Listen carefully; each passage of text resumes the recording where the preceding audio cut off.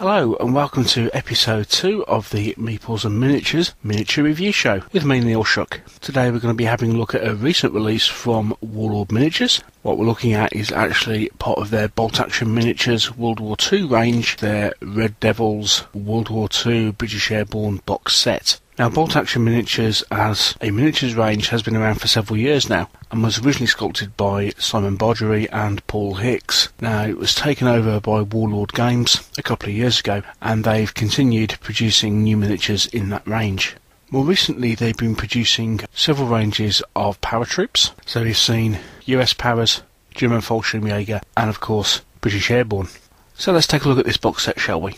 Well, first of all, the box set consists of a total of 19 miniatures. It's actually got some nice artwork on front and back, but once we open the box, we'll see that there's a large plastic insert in which the miniatures are contained. Actually means that the box is a little bit oversized for the number of miniatures in it, and that's primarily because this particular size box is the usual box that comes with all their plastic troops, such as their ancients and their pike and shot range, and this is the size that is used for all their plastic sprues. So it sort of makes sense to stay with a similar size box, despite the seeming, well, lack of content once you actually open the box itself. So once we've opened the box, what can we see as far as the contents are concerned? Well, the box contents can be split into four different parts. First off, you have four figures that comprise a command section, or at least part of it. We see them here, going from left to right.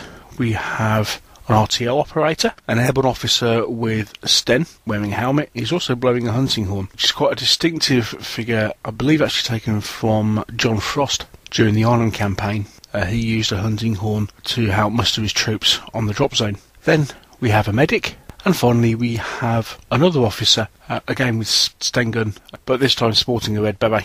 Next up we have a 10-man rifle squad.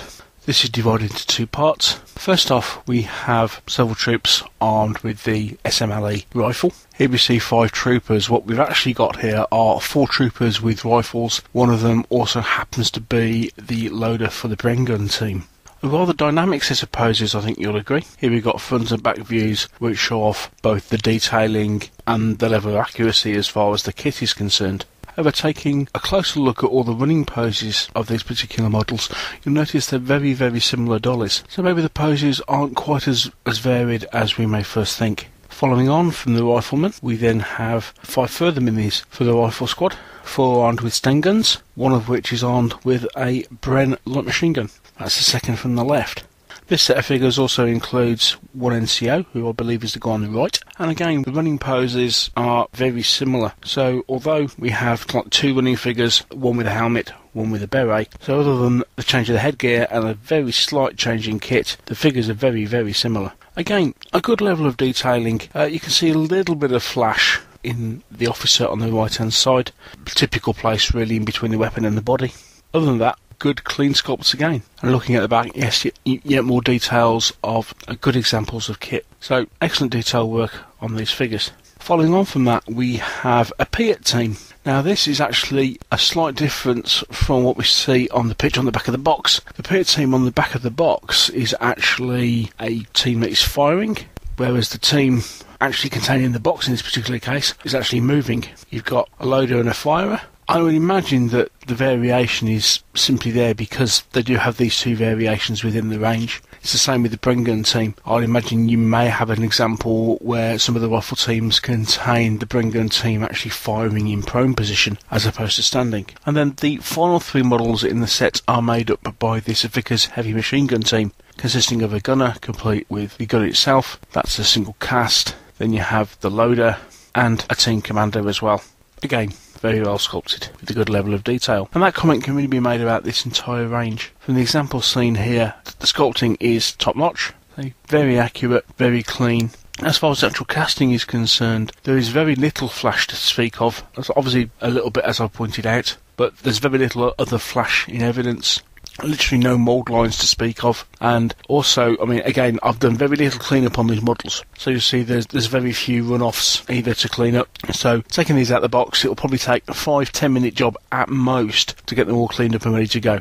I'm also talking about, as far as the moulding is concerned, uh, one of the things to note, the alloy used in these particular models is quite soft. What I mean by that is that the weapons are fairly easy to move around. So especially if you've had an incident where a rifle's got bent for example, it's a, a, really easy task to bend it back into place. There's no problems there. So the metal is quite soft and malleable. And that is also particularly useful on some of the running poses.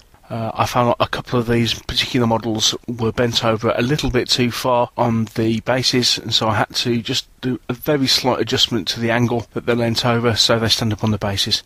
Again, a very easy job to do. And finally, you'll see here an example of the, the height of the miniatures, you'll see the miniatures are 28 mil to the eye, about 30, 31 mil to the top of the head. So, given their height and general build, I think they'll fit in very well with a lot of the other min- miniature manufacturers out there.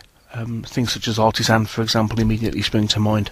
Now, the next into question is price. This box set works out at £25. For that, you get 19 miniatures. Is this good value? Well, Warlords sell their single bolt action miniatures for £1.50 each, which I would suggest is probably on the high side for 28mm World War II. Certainly slightly higher than average. So I actually get this box set of 16 miniatures that you can buy standalone for £1.50 each. On top of that, you get a Vickers heavy machine gun team. That team in itself is £6 is bought on its own. You put all that together in this box. Total value of the box is £30 and you get it for 25 So a 16.5% discount if you buy the box set, which isn't bad. But this does lead to another question. Why would you buy this box set in the first place?